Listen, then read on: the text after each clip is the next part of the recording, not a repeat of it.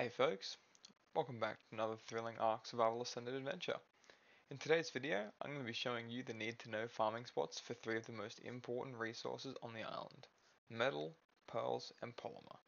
Let's start with metal. With the release of ASA, one of the first questions to cross everyone's mind was where is the metal? Seeing as the devs redistributed almost all the metal spawns around the map, let's look at the new top metal farming locations. First off, we have the volcano. On the top of the volcano is where the metal is most dense.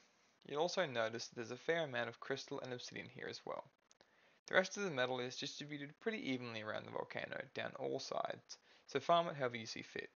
The next metal spawn is just across the way towards Carno Island. Now in my opinion, this is the best metal spawn on the new island map. Pretty much the entire top half of the mountain is covered in metal, again with the very very top being the most dense. Now on small tribe servers, this mountain can yield up to around 22,000 metal in one run.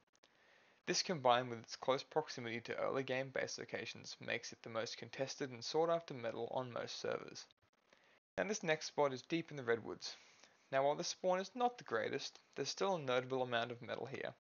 It is very scattered and nothing too impressive, but just because it does have that decent amount of metal, I decided to add to this list.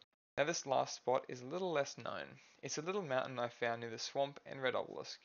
It has a semi-high concentration of metal, again being mostly spawning at the top. But if you search around the surrounding forests, you'll actually find a substantial amount. Next up, we'll look at pearl spawns. I've seen quite a few people struggling to find solid pearl spawns, so I hope this helps. On the new island map, the devs have basically made it so that pearls spawn pretty much everywhere underwater. I think it's worth noting that prior to getting an anglerfish, the best way to farm pearls effectively early game is by looting them from pearl caves. So the pearl caves got an update with the new game release and they look really nice and there's actually a really high amount of pearls in them. Although I would suggest taking a sickle with you because the pearls are often hidden under a lot of bushes. I swim around the whole map and mark the three densest spots to farm pearls. The first is just off the snow beach, opposite the snowy mountain. Now as always, with underwater expeditions in Ark, be careful, as there is quite a lot of aggressive creatures down there that would love to quickly kill your anglerfish. Next up, we have a similar spot just across the map down the beach from Carno Island. This location is almost the exact same as the previous with the same amount of pearls.